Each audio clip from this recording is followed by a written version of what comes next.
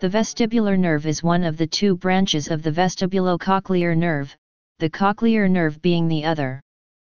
In humans the vestibular nerve transmits sensory information transmitted by vestibular hair cells located in the two otolith organs, the utricle and the saccule, and the three semicircular canals via the vestibular ganglion.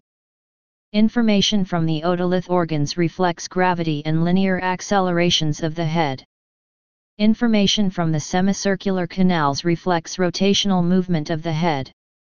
Both are necessary for the sensation of body position and gaze stability in relation to a moving environment.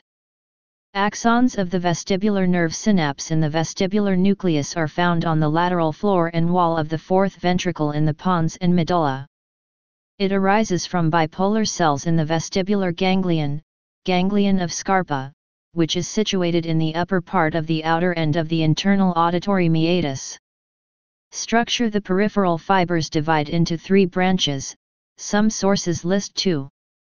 The superior branch passes through the foramina in the area vestibularis superior and ends in the utricle and in the ampullae of the superior and lateral semicircular ducts. The fibers of the inferior branch traverse the foramina in the area vestibularis inferior and end in the saccule. The posterior branch runs through the foramen singulare and supplies the ampulla of the posterior semicircular duct. Function the primary role of the vestibular nerve is to transform vestibular information, related to balance, into an egocentric frame of reference based on the position of the head in relation to the body. The vestibular nerve dynamically updates the frame of reference of motor movement based on the orientation of the head in relation to the body.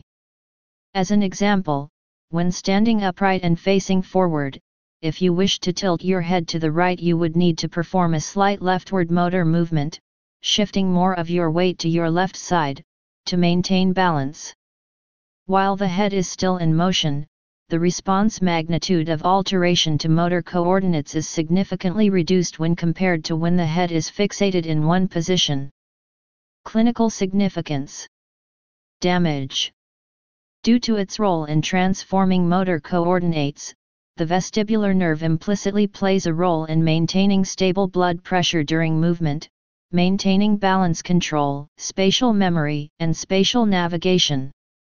The most common causes of damage to the vestibular nerve are exposure to ototoxic antibiotics, Meniere's disease, encephalitis, and some rare autoimmune disorders. Typically, patients with a damaged nerve suffer from acute attacks of vertigo accompanied by nausea/vomiting, inability to maintain posture and horizontal nystagmus.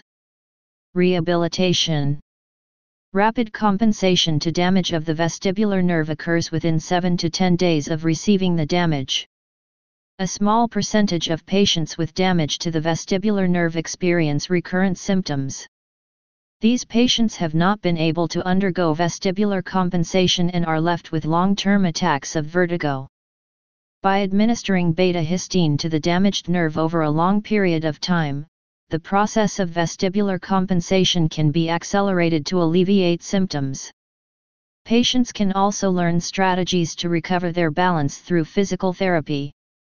Please subscribe and thanks for watching.